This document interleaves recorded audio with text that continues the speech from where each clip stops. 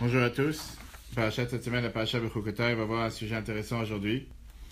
Et ça, c'est la paracha qui nous parle de toutes les récompenses qu'on va avoir comme Asher sera là.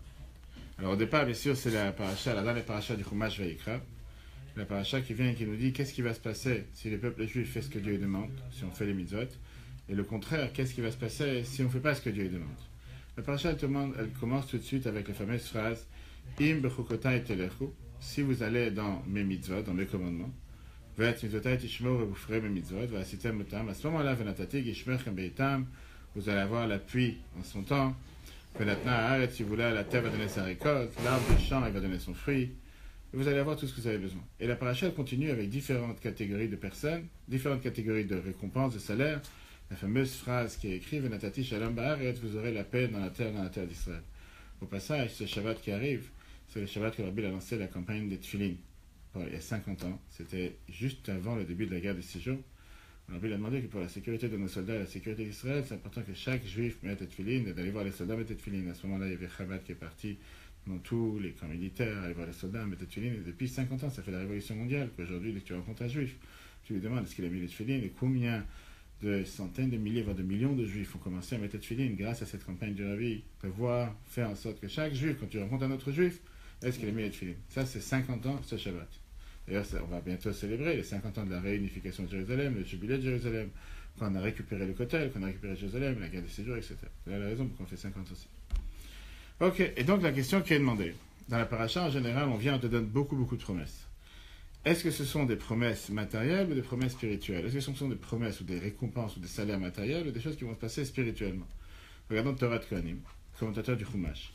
Et lui, il te dit la chose suivante. Qu'est-ce que ça veut dire que quand Mashiach va venir, tu auras une abondance dans la terre? Pas comme ça se passe maintenant. Il dit comme ça se passait au temps d'Adam Arishad, qui veut dire le jour où tu plantais, le jour où tu récoltais. À peine tu mets la graine le matin, l'après-midi, tu as déjà les fruits qui sont poussés. Qu'est-ce que ça veut dire? L'arbre des champs donne son fruit Pas comme on fait maintenant, mais comme c'était fait au temps d'Adam Arishad. Le jour où tu plantes, le jour où tu récoltes, et que même les arbres qui étaient non fruitiers, eux aussi, vont donner une récolte. Ok. On voit dans la Torah en général qu'on a une énorme, un accent particulier sur les récompenses matérielles. Il n'y a nulle part dans la Torah mentionné les récompenses spirituelles. Ni le Gan ni le monde futur, ni le paradis. La Torah te parle des choses terre à terre. Par exemple, il y la guerre, il y aura la pluie, il y aura la parnassa, on va gagner les guerres, on n'aura pas de bêtes sauvages, on aura la paix, on aura la tranquillité. Et la question qui est demandée, qu'est-ce qui est l'essentiel dans la vie? Est-ce que l'essentiel, c'est les récompenses matérielles ou est-ce que l'essentiel, c'est la récompense spirituelle. C'est sûr qu'on pourrait avoir un débat. Il y en a qui vont dire que le plus important c'est d'avoir la santé, la panassa, la bénédiction, la réussite.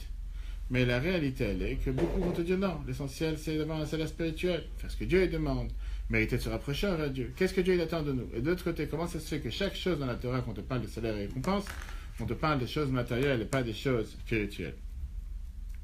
Surtout quand on te dit qu'on parle ici de salaire et de récompense qui vont arriver comme sera là. Pourquoi? On dit que comme Mashiach sera là, il y aura le dévoilement de la divinité sur terre. À tel point que Rambam te dit, Maïmonide, que la seule occupation que les gens ils auront comme Mashiach sera là, c'est de s'asseoir et apprendre la Torah. Pourquoi? Parce qu'il y aura une telle abondance dans toutes les choses matérielles que tu n'auras même pas besoin d'aller chercher les choses matérielles. Tout sera de manière facile, ce sera aussi nombreux que les choses qu'il y a sur la terre. Spirituellement parlant, tu n'auras plus d'excuses, puisque tu pourras te consacrer à l'étude de la Torah, à faire ce que Dieu demande, sans aucun problème. Alors, comment ça se fait que la Torah, elle vient, elle te fait un accent particulier sur les efforts matériels, les besoins matériels, les récompenses matérielles, alors que quand Mashiach sera là, ça ne sera, pas de valeur. C'est pas comme aujourd'hui que les gens se fatiguent pour gagner leur vie. Mashiach sera là, on dit qu'il y aura une telle abondance de choses matérielles qu'il n'y aura pas besoin de se fatiguer. Alors pourquoi la Torah, elle te dit oui, que les récompenses seront des récompenses matérielles et non spirituelles? Rabbi Manel, ancien ministre des Finances d'Espagne, donne sept questions-réponses sur ce sujet. Et au départ, il te dit que la première réponse, pourquoi on te dit que les bienfaits et les mauvaises choses qui peuvent arriver à la personne, c'est matériel et pas spirituel Il te dit qu'en vérité, on ne parle pas ici de récompense. On ne parle pas ici de punition ou de récompense. On parle ici des notes de frais. Qu'est-ce que ça veut dire des notes de frais? On te parle ici de donner la possibilité à chacun que Dieu va lui enlever des soucis qui pourraient éventuellement faire en sorte qu'il ne puisse pas faire ce que Dieu lui demande.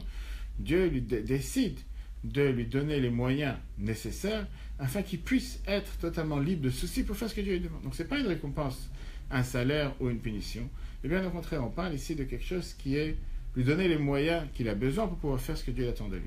comme à notre ça doit donner à un, commercial une voiture, l'essence, à manger, à dormir, pour qu'il puisse faire le travail. Dieu te donne ici ce que tu as besoin, afin que la personne puisse faire ce qu'il a besoin. Puisse faire ce qu'il lui demande. Ça, c'est une des réponses. Sauf que lui, le dernier Yitzhak Ababana, il dit Je suis pas d'accord avec cette réponse. Ça n'a pas de sens, c'est une chose pareille. Pas seulement que ça n'a pas de sens, mais la Torah te dit clairement qu'on parle ici d'un salaire et d'une récompense spirituelle, matérielle, pardon. Puisque tu dois besoin de faire ce que Dieu attend de toi, automatiquement, Dieu t'enlève les ennuis qui pourraient t'empêcher à faire ce qu'il veut, et comme ça tu peux faire ce que tu veux. Non. Dieu cherche ici à te donner une réponse, une récompense matérielle. Clairement un salaire. Le fait que tu fais ce que Dieu te demande, automatiquement il va te donner tout ce qu'il a besoin. D'après cette avis, la question revient. Comment ça se fait que la Torah se focalise tellement sur les salaires et les mérites, récompenses matérielles, alors que comme cher va venir, tout sera avec une telle abondance dans le matériel que tu n'auras même plus besoin d'avoir tous ces salaires et tous ces mérites. Ce sera déjà tellement facile, tu n'as besoin d'en avoir. Et ça, c'est un débat qui est beaucoup plus grand. Parce que la question, elle est demandée, est-ce qu'on doit servir Dieu pour recevoir une récompense, pour recevoir un salaire, ou bien on doit servir Dieu parce que Dieu l'a demandé de servir Dieu. On demande, est-ce que je fais une mitzvah en attendant la contrepartie, qu'est-ce que je vais recevoir en fonction de la mitzvah que j'ai fait? Ou bien non. La Torah te dit, toi tu fais une mitzvah, et grâce à la mitzvah, tu vas avoir tel et tel bienfait. Et il y en a qui vont te dire que non, tu fais une mitzvah, c'est bien. Tu n'as pas besoin d'attendre une contrepartie, tu n'as même pas le droit de faire une mitzvah pour la contrepartie. Qu'est-ce que Dieu il attend de nous? On voit dans Pirkei Avot, le maxime de nos pères, qu'on a fait c'est depuis Pesach jusqu'à Shavuot, et chez nous toute l'année. On voit une phrase intéressante dans laquelle un Tignos, l'homme de Socho, vient et te dit que vaut mieux servir Dieu sans attendre de quoi que ce soit en contrepartie pas de servir Dieu de faire une mitzvah pour attendre un salaire au retour. Et donc la question qui est demandée si la Mishnah vient te dire qu'on ne doit pas servir Dieu pour attendre quoi que ce soit en contrepartie, mais on doit servir Dieu parce qu'il faut servir Dieu, sans savoir si, sans s'inquiéter du salaire de récompense. Comment se fait-il que dans la paracha, tout au départ, Dieu te dit que si tu vas faire ce que je te demande, tu auras toutes ces récompenses matérielles, en abondance, malgré que ma chère sera gêne. Ça n'a pas de sens. Est-ce que je dois servir Dieu alors en fonction de ce qu'il attend que je fasse, en fonction de la récompense, ou bien je dois servir Dieu parce qu'il faut servir Dieu sans attendre la récompense? Et donc la question, encore une fois, c'est une question qui dérange et c'est une question qui est posée en général dans tous les livres, en fonction de comment Dieu regarde les mitzvot qu'on fait et comment fonctionne le salaire et la récompense. La réponse, elle est qu'effectivement, il y a la situation qu'on appelle idéale et la situation logique terre à terre, qui veut dire la situation idéale, c'est quoi? Bien sûr, c'est de servir Dieu sans entendre rien en contrepartie. La situation logique, concrète, c'est que au final, quelqu'un a besoin de manger, il a besoin de vivre, il a besoin d'avoir la santé, il a besoin d'avoir un toit sur la tête. Et comme la majorité des gens ne sont pas prêts à servir Dieu sans contrepartie, ils sont, ils sont prêts à servir Dieu à condition qu'ils ont le confort et les besoins nécessaires pour tout ce qu'ils doivent faire. Automatiquement, Dieu il parle après la majorité, puisque la majorité des gens font en général ce que Dieu il veut. C'est la raison pour laquelle ils vont agir de telle et telle manière.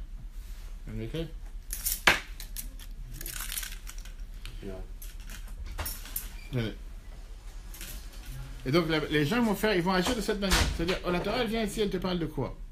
Elle te dit, l'idéal, c'est de ne pas servir Dieu pour attendre une récompense. L'idéal, c'est de ne pas servir Dieu pour attendre un salaire. L'idéal, c'est de servir Dieu parce qu'il t'a demandé de le faire.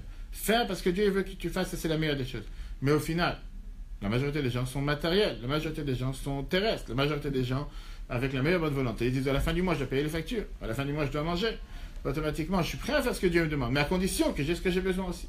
C'est pour ça que la Torah se focalise avec des salaires et des récompenses que matérielles. Et d'ailleurs, nos sages nous le disent clairement. La fameuse phrase que ça serait bien que tout le monde, en général, un homme ne doit jamais ne pas vouloir faire ce que Dieu lui demande même s'il se dit, vaut mieux que je le fasse sans hypocrisie. Le faire pour le faire ou le faire pour une récompense, ça ne m'intéresse pas. Si je le fais, c'est parce que Dieu il a demandé. Mais viens, la Mishnah te dit que non. Vaut mieux commencer à faire les choses pour recevoir quelque chose en contrepartie. À la fin, tu finiras par faire parce que Dieu t'a demandé. Parce que si tu veux aller d'après cet avis qui te dit, tout le temps, je ne vais pas faire les choses parce que Dieu demande, je risque de rien faire, tu finiras par rien faire.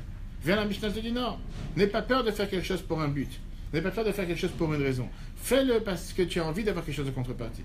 Avec le temps, tu vas grandir, tu vas comprendre qu'il faut faire les choses parce que Dieu lui demande. Mais si tu t'autorises pas à faire les choses pour une contrepartie, pour un salaire, pour une récompense, tu finirais par jamais rien faire. Tu vas dire, j'ai pas envie d'être hypocrite, je préfère rien faire. La Torah, elle est contre ça. Qu'est-ce qu'on vient de voir? La majorité des gens sont matériels. La majorité des gens, des gens dépendent du matériel. La majorité des gens vont faire ce que Dieu lui demande à condition d'avoir un salaire ou une récompense. Là, c'est la raison pourquoi la Torah, elle te dit, et elle te mentionne dans le début de la paracha, de salaire et de récompense matérielle. Et qu'on ne parle pas ici des choses spirituelles. Très bien. Si on là, Gilles Débat, la question est beaucoup plus générale. Qu'est-ce que, quelle est la place de la Torah dans notre vie? Combien de place prend la Torah dans notre vie? Est-ce que c'est une place fondamentale, une place essentielle ou une place secondaire? En deux mots, est-ce que tout mon monde doit tourner autour de la Torah? Est-ce que la Torah c'est important, mais il n'y a pas que ça. Ou est-ce que la Torah c'est de temps en temps, quand j'ai le temps, et le reste, j'ai la vie, la routine quotidienne, matérielle? Beaucoup de gens vont te dire que l'idéal, bien sûr, dans la Torah, c'est quoi? C'est que c'est une partie essentielle de ma vie. En tant que juif, tout ce que je fais, tout ce que je suis en train de parler, manger, bouger, dormir, Shabbat, bref, chaque chose que je fais, en général, j'ai la Torah qui est autour de moi. Vient l'Agmara, Brachot, page 61, qui a dit que pas seulement que la Torah, c'est une place centrale dans ta vie, mais la Torah, c'est notre vie. D'ailleurs, c'est ce qu'on dit tous les soirs dans la prière, qui aime que la Torah, c'est notre vie. C'est pas que c'est une place centrale. La Torah elle-même, ça, c'est qu'est-ce que représente la Torah, représente la vie, notre vie. La fameuse histoire qui est racontée avec Papus, qui était un des empereurs romains à l'époque, est venu voir Rabbi Akiva. Et Rabbi Akiva était en train d'enseigner la Torah à tout le monde. Papus a demandé à Rabbi Akiva, lui disant Akiva, t'as pas peur du royaume? les Les Grecs à l'époque étaient là pour détruire les peuples juifs, qui après ont fini par détruire le temple. Comment tu peux enseigner la Torah en public? Tu vas, te faire, savoir ce qui va t'arriver. Rabbi Akiva qui a donné le fameux exemple, comme la Gemara nous dit, avec un renard. Un renard qui est en train de marcher sur le bord du fleuve. Et il voit des poissons qui lèvent la tête de temps en temps. Il leur a dit Pourquoi vous n'êtes pas avec moi à côté de moi sur la terre sec? Bon, ça prend un petit coup de soleil. Qu'est-ce avez besoin de rester dans l'eau toute la journée? Les poissons, ils lui ont dit On dit sur toi, le renard, que tu es le plus intelligent des animaux. Tu pas intelligent, tu es bête. Pourquoi tu es bête? Si déjà dans l'endroit où nous vivons, dans l'eau, on a peur qu'on va se faire attraper, qu'on va se faire dévorer, dans l'endroit où on n'a aucune chance de vivre, qui est sur la terre, c'est sûr qu'on va se faire dévorer. Quand tu peux nous proposer de venir vivre avec toi sur la terre On n'est pas fait pour vivre dans la terre. Le seul endroit où on peut vivre, c'est dans l'eau. Akiva, Rabbi Akiva répond à Papous en lui disant c'est exactement la même chose avec le peuple juif. Mais aujourd'hui, tu me dis comment tu peux apprendre la Torah, tu n'as pas peur de ce qui se passe autour, va savoir ce qui va t'arriver. Mais si on est en train d'apprendre la Torah dans laquelle c'est écrit que c'est ta vie et c'est ce qui te donne longue vie, imagine-toi un jour qu'on arrête d'apprendre la Torah. C'est-à-dire que tu me coupes des sources de la vie. C'est sûr qu'on va plus apparaître sur terre. Là, peut-être je prends un risque, mais au moins je prends un risque en étant vivant. Si je me déctage à la Torah, j'ai plus aucune raison pourquoi vivre et je peux plus vivre sur terre. C'est-à-dire que la Torah est en train de te dire que c'est pas juste une étape importante dans la vie d'un juif. C'est pas juste quelque chose de spécial dans ce que tu dois faire dans la journée. J'ai mon devoir envers Dieu, j'ai mon devoir envers la société, j'ai mon devoir envers ma femme, j'ai mon devoir envers c'est une partie, pas seulement fondamentale, une partie essentielle, c'est la base même de notre existence. Sans la Torah, il n'y a aucune raison d'être pour le peuple juif. Depuis qu'on a reçu la Torah en Sinaï, bientôt la fête des Shavuot, tu ne peux pas vivre sans Torah, à tel point que la Torah est considérée notre vie. Ça s'exprime dans la manière comment nous pensons, nous parlons et nous agissons. Dans la manière comment chacun il agit sur Terre, il y a trois composants. Il y a le cerveau dans la tête, il y a les sentiments dans le cœur et il y a les actions dans les mains. Trois composants. En général, on réfléchit d'abord, après on parle, on exprime ce qu'on a réfléchi, on essaie de débattre, et après on met ça en application. Quel est le point commun entre les trois? La vie qui tombe dans le corps, c'est une vie qui fait vivre et la pensée, et la parole, et l'action. Le souffle de vie qu'il y a dans l'âme, ça c'est quelque chose qui n'a aucune différence entre la tête, les mains, les pieds, tout est exactement égal. Exactement la même chose. Quand tu veux savoir est-ce que quelque chose est fondamental à l'être et à l'existence de la personne, la Torah te dit ça, ça se correspond à la Torah. La Torah n'est pas juste une source de vie pour la tête, pour le corps, pour les mains, une fois dans la semaine, une fois dans le mois. La Torah, c'est l'oxygène de la personne. Sans cet oxygène, tu ne peux pas vivre. Quand tu veux savoir si quelqu'un est joyeux, il peut te faire un faux sourire. Il peut commencer à chanter, mais dans l'intérieur, il n'est pas joyeux. Il peut commencer à taper des mains, mais il n'est pas vraiment joyeux. Il peut danser avec les pieds, mais ce n'est pas lui qui est joyeux. C'est ses pieds qui dansent. C'est ce qui danse avec les pieds, mais il n'est pas vraiment joyeux. Viens, la Torah, elle te dit que quand tu as une joie qui a pénétré dans le plus profond de la personne. Tout son être, il est joyeux. Automatiquement, s'exprime avec tout son... Il n'y a pas de différence. Là, je vais faire un sourire, là, je vais taper des mains, là, je vais danser. C'est tout son corps qui est joué, tout son être qui est joué. Ça, c'est ce que la Bible te dit par rapport à la paracha de cette semaine. Qu'est-ce que ça veut dire, Bechukotai Qu'on va faire les mitzvot et qu'on va recevoir les salaires? D'abord, on doit savoir que la Torah, c'est notre vie. La Torah, c'est l'existence même de la personne. Et donc, puisque la Torah, c'est l'existence même de la personne, automatiquement, on ne peut pas agir seulement spirituellement. Le fait que tu fais ce que Dieu il attend de toi, automatiquement la Torah a un impact sur toi, matériellement parlant. Et là, la réponse pourquoi? C'est pas déconnecté, c'est pas trop demandé le fait de vouloir faire une mitzvah pour avoir un bienfait matériel. La Torah est ta source de vie, ta source de vie, matérielle comme spirituelle, sans aucune différence. La Torah n'est pas déconnectée du matériel. C'est pour ça que quand la Torah te dit tous les récompenses et tous les salaires qu'on va avoir cette semaine, dans la paracha cette semaine, comme Hachéa sera là, c'est pas de récompense spirituelle. Dieu, il est terre à terre et te parle des, des récompenses et des salaires et des bienfaits matériels que tu vas avoir, une abondance matérielle terrestre que tu vas avoir. Et d'ailleurs, ça rejoint à ce que la Torah te dit, toutes les abondances et tous les mérites qu'on aura quand Mashiach sera là. Si Mashiach, c'est pour dévoiler la parole de Dieu sur terre, pour faire en sorte que la parole de Dieu soit présente sur terre, pour faire en sorte que la divinité soit présente, que les forces du mal disparaissent de la planète, pourquoi on a besoin d'avoir des bienfaits matériels? Quand on dit que tous les abondances, tout ce que tu veux, il y aura une telle abondance comme la poussière de tout ce qui est les bienfaits, les mérites matériels, parce que ça va ensemble avec ce qu'on vient de dire. La Torah n'est pas déconnectée du matériel. Aujourd'hui, chaque chose que quelqu'un a besoin d'avoir, il a avec difficulté, avec fatigue. Rien ne devient facile. Et même quand tu investis énormément, il faut attendre longtemps que tu vois les résultats. Que ce soit avec un fruit, que ce soit avec un arbre, que ce soit avec les affaires, que ce soit avec n'importe quoi. Comme Mashiach va venir. Le matériel sera tellement raffiné avec la parole divine que le résultat, il sera à l'instantané. Tu n'auras pas besoin de faire tellement d'efforts. Aucun effort pour recevoir. C'est pas qu'il y aura plus de matériel. C'est pas qu'on ne sera plus en train de manger, ni on sera des anges on sera en train de manger, boire, tous les plaisirs matériels seront là. Sauf qu'aujourd'hui, on doit investir tellement de temps, voler du temps qu'on aurait dû consacrer à l'étude de la Torah et à l'accomplissement des mitzvot pour obtenir ces bienfaits matériels, parce que Dieu, il attend de nous qu'on puisse les obtenir pour survivre. Comme chien sera là, il y aura tous ces bienfaits matériels, sauf que ces bienfaits matériels, ils seront à l'instantané, sans aucun effort. L'effort sera d'en faire en sorte de s'améliorer, d'avancer, d'accentuer sur la pratique des mitzvot et l'étude de la Torah. Concrètement, qu'est-ce que ça veut dire? Comme on apprend la partie de cette semaine, tous les ans, on l'a dit une, deux semaines avant, Shavuot. Shavuot, c'est toujours une séparation entre Ben Midbar. Il y a toujours la paracha Ben Midbar qui sépare Berugota et Shavuot. C'est le même moment pour prendre sur soi. On va recevoir la Torah à nouveau dans la Torah qu'on a reçue à 3329 ans. Chaque année, on reçoit la Torah à nouveau le jour de Shavuot. Quand on se prépare à recevoir la Torah, quand on se prépare à recevoir les dix commandements, comme si c'était la première fois, de prendre des résolutions ce soir en se disant la Torah ne veut pas être déconnectée de ma vie. La Torah ne veut pas être quelque chose qui est c'est une bonne idée, c'est une bonne science, c'est une richesse. Je vais la goûter, je vais apprendre, je vais aller à un petit cours, 5 minutes, 10 minutes. Je vais faire en sorte de m'améliorer dans une mitzvah. Et quand je sais, je comprends que la Torah c'est tout mon être, que la Torah c'est toute mon existence, que la Torah c'est ma source d'oxygène, tu ne peux pas te séparer de ta source d'oxygène un instant. Parce que, que Dieu nous en préserve, quelqu'un qui n'a pas d'oxygène un instant, il n'est plus sur terre. Ah, il y a des gens qui ne sont pas au courant, qui ne comprennent pas que c'est leur source d'oxygène. C'est pas grave.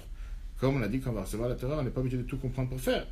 On va faire d'abord ce que Dieu demande de nous, et après on va comprendre. Et quand on agit de cette manière, comme la Torah te dit au début de la paracha de cette semaine, quand quelqu'un, si on fait ce que Dieu nous demande, on est garanti d'avoir tous les bienfaits matériels en abondance.